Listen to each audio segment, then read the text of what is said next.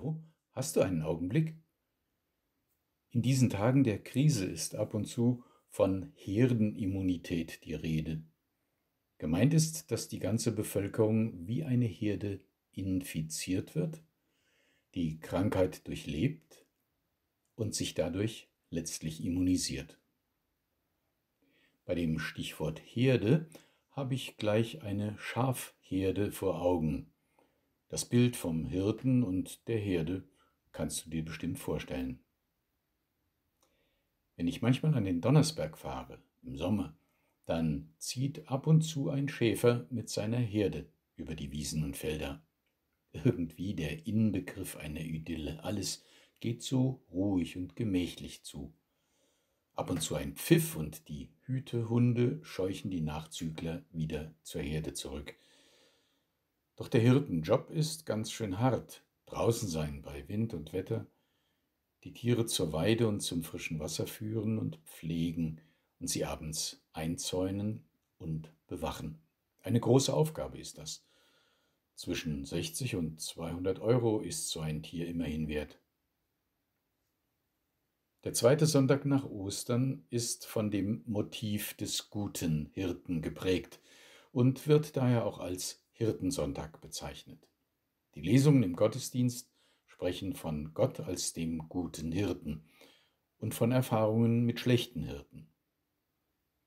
Dieser Sonntag heißt Misericordias Domini und leitet sich vom Beginn des früheren lateinischen Wechselgesangs im Psalm 33 ab.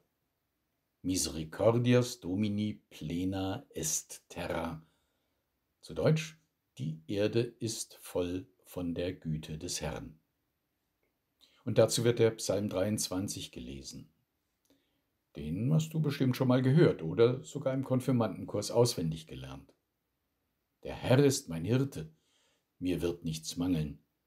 Er weidet mich auf einer grünen Aue und führet mich zum frischen Wasser. Er erquicket meine Seele. Er führet mich auf rechter Straße um seines Namens willen, und ob ich schon wanderte im finstern Tal, fürchte ich kein Unglück, denn du bist bei mir, dein Stecken und Stab trösten mich. Du bereitest vor mir einen Tisch im Angesicht meiner Feinde.